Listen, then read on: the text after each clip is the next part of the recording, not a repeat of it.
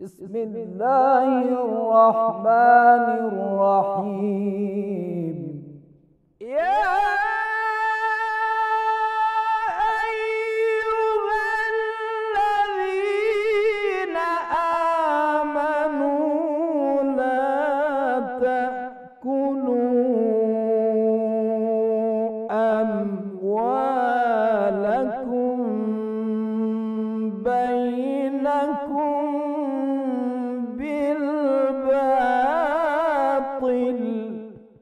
إلا أن تكون تجارة عن تراض منكم. أعوذ بالله السميع العليم من الشيطان اللعين الرجيم. بسم الله الرحمن الرحيم. والحمد لله رب العالمين. والصلاة والسلام على خير خلق الله وأفضل بريته سيدنا محمد وآله الطيبين الطاهرين وإنا مسلمي سلام الله عليكم ورحمة الله تعالى وبركاته ba mu guje ba muna zance a cikin sashi daga hukunce-hukuncen wayansu laifuffuka cikin laifuffuka shine mai rawa. Akan ihtiyati wanne yake wajibi rawa haramun ne. Kawai an yi istisna'in rawa ɗaya shine mace ta yi ma mijinta rawa wannan ba haramun ba ne. Bayan haka cikin ayyukan da suke haramun shine taimaka ma azzalimai. Zalunci da taimaka ma azzalimai zalunci da taimaka da azzalimai babu shakka haramun ne. Bal dukkan aiki da yake haramun mutum ya aikata wannan aiki babu shakka ba abu ne mai kyau ba. Ko dukkan aiki da yake haramun da za ka taimaka ma wani a cikinsa wannan idan kai wannan aiki ka aikata haramun. Taimaka ma azzalimi a cikin ayyuka wanda suke ba zalunci yake yi ba ko ayyukan da suke ba haramun ba ne. Wannan ayyuka ba sanya su a cikin taimaka ma azzalimai ko idan mutum yana aikace teniya da azzalimi ba za sanya mutum cikin mataimakan azzalimai da wanda suke daura da shi ba. Kuma ba za rubuta sunansa a cikin diwanin gidan azzalimi ko ofishin azzalimai ma kuma wannan aiki da zai yi tsakaninsa da azzalimi ko taimaka da zai ma azzalimi ba zai zama sababin da zai ƙarfafa azzalimi ba. To wannan babu laifi. Wannan mutum shi ya kamata ya duba wannan aikin da zan yi. Shin mutane za su sanya ni cikin me? Wanda suke daura da azzalimi wanda suke taimaka da azzalimi. Ko wannan aikin da zan yi zai sanya ni in ƙarfafa azzalimi cikin zaluncinsa. Ko zan ƙarfafa shi ya samu ya yi zalunci da yawa to wannan haramun ne. In ba haka ba wani taimakon da yake ba sannafa shi ba sa shi a cikin wayannan huskoki da muka ambata babu laifi akan wannan. Yana cikin manya-manyan laifuka cin hanci rashawa. Babu shakka ba da rashawa ko karɓar rashawa saboda mutum kazantar da wani hukunci da yake ƙarya ne babu gaskiya a cikin wannan hukunci haramun ne. Amma idan ya zama na mutum kana da haƙƙi ba za ka yi ka kwato haƙƙinka ba. Fashe ka nemi taimako a gun azzalimi ko ka sa azzalimi sakiya tukun za ka yi ka karɓi haƙƙinka. To wannan babu laifi ka ba da rashawa kan wannan. Amma kai da za ka ba da wannan rashawan ba haramun ba ne a kanka. Saboda haƙƙinka ba za ka yi ka kwato haƙƙinka ba fashe da wannan hanya. Amma shi da zai karɓi wannan rashawa da wannan cin hanci haramun ne a kansa ya karɓi wannan cin hancin. A zamanin mun ga ana samun wayansu mutane suna duban cewa su suna da wayo idonsu ya buɗe suna sama cin hanci wayansu sunannaki saboda cewa idan aka sake sunansa zai zama halali. Masalan sai ya ce ai wani hadaya ne aka kawo min ko a wani kayan zaki ne aka kawo min. Da ire-iren wannan wayansu sunannakin da ake sawa wannan bai sauya hakikanin cin hanci ya zama halali. La haramun ne. To na hukuncin wanne yake ya karɓi rashawa. Wanne yake ya karɓi rashawa wajibi ne a kansa abin da ya karɓi ya koma da shi ya ba ma abocin wannan abin. Awalan karɓar rashawa cin hanci haramun ne. Idan mutum ka karɓe to wajibi ne ka koma da shi ka ba mai kuɗi kudinsa ko abin da ya baka na cin hanci. Bayan haka cikin ayyuka da suke haramun shine yin mutum mutumi. Yin mutum mutumi mutum ka yi mutum ko dukkan dabba mai rai haramun ne. Amma abin da yake bai da rai kamar itatuwa da ire-irensu idan ka yi abin nan su suransu ta wannan ba haramun ba ne. Wannan aiki yinsa ya zama na shi ne sababin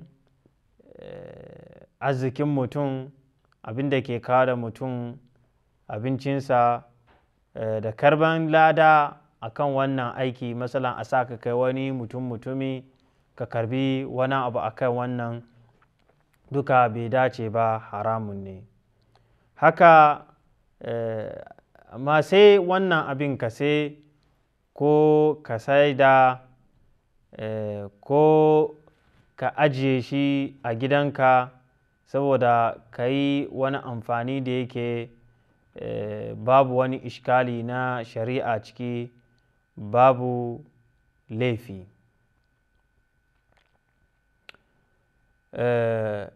bishart da sharatin cewa eh, wannan ya zama abin da yake sura ne ba jiki ba ne.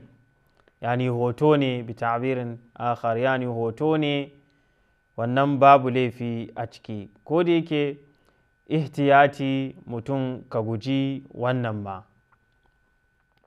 Ya man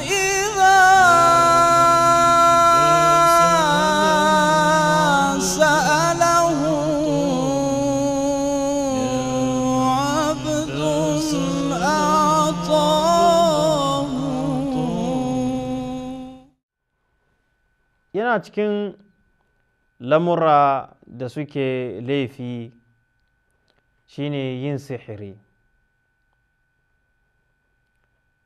Yani sihiri yana da huskoki da yawa.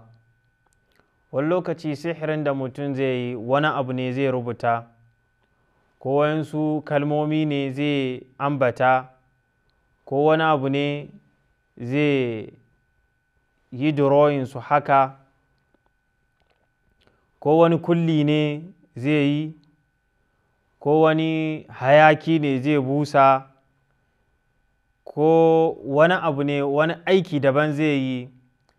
Da yake wannan ayyukan duka izan ya yi sa zai tucar da jikin mutum ko zuciyansa ko hankalinsa zai masa ta'asiri. Masalan kaman a zo da mutum ko a sa shi bacci ko a bari ya sume ko a sa soyayya tsakanin wani da wani ko a sa kiyayya tsakanin wani da wance ko soyayya tsakaninsu dukkan wayannan ayyuka sihiri ne.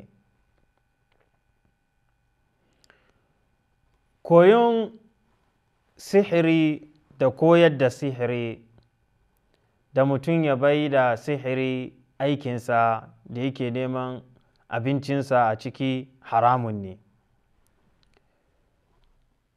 Sakhara aljanni ko mala'ika ko rain wani ko aljanni da ire-iren wayannan duka sihiri ne kuma haramun ne. Wannan duka abu ne da yake mutum mu'mini ya kamata ya guje shi don babu shakka yana kai mutum zuwa ga hallaka. Babu shakka cewa sihiri haramun ne. Tambaya aka yi shin wanda ke sihiri domin ya warware wani sihirin da aka yi ko ya samakar da wannan aka asirance shi aka masa sihiri. Shin wannan aiki haramun ne ko ba haramun ba ne? Babu shakka kamar yadda muka yi zance cewa sihiri haramun ne. Amma idan ya zamana zai zama sababin ceton ran mutum ko ceton ran wani ya zamana ya eh, dauru akan wannan sihiri she ka yi sihiri sa'an nan ka ceci ransa ran mu'mini. To wannan babu laifi saboda ran mu'mini ko ran mutum baki ɗaya abu ne da yake yana da muhimmanci babu laifi akan haka. Bayan haka cikin laifuffuka shine caca.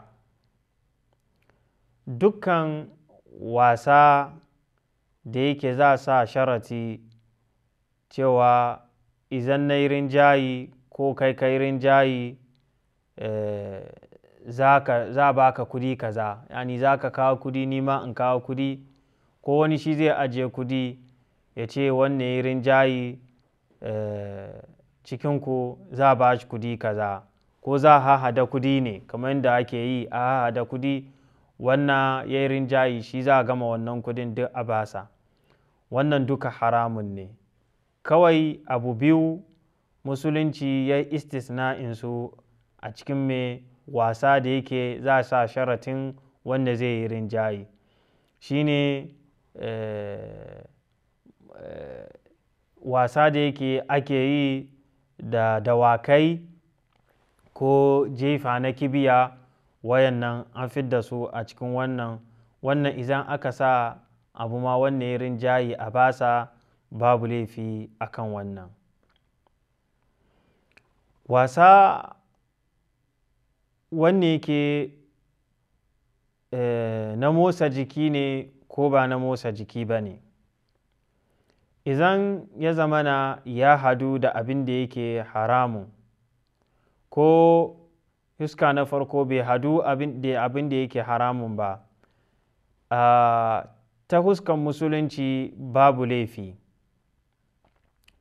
Bari wani lokacin ma musulunci yana son wannan abin yana kwadaita wannan abin kamar da eh, aka rawaito ruwaya a gun ma'aiki sallallahu alaihi wa sallam cewa a koyar da yara hawan dawakai da jifa na kibiya da wankan ruwa. Wannan duka abu ne da yake musulunci ya kwadaita eh, musulmai su koyo sa. To wannan lamura duka da yake musulunci ya kwadaita kuma motsa jiki ne kuma bai hadu da abin da yake haramun ma babu laifi a cikin wannan lamura wani lokaci idan za a yi eh, wasanni abin da ake wasanni da su shine abu ne da yake na caca yani kayan caca ne. Wani lokaci ana sa sharatin cewa wannan ya yi rinjayi za a ba shi abu kaza.